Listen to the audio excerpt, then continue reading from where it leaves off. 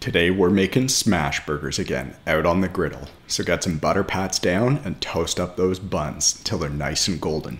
Now get some burger balls down on there and top with some shaved onion and then smash. You want these really nice and thin so they get those lacy edges. Now season with some salt and pepper and then let those sear away. Caramelize those onions. Once caramelized, put the onions on top of the burger and then flip for this ridiculous crust. For cheese, we're using Kraft singles. It's the only way to go with burgers. Melt that down and prep your burger sauce. Get a dollop on the top and bottom and then look at that melty goodness. Now we went in with some triple deckers here. Just look at those lacy edges. Three patties and three cheese slices is the way to go. Then add some bread and butter pickles and it's time to crown your king.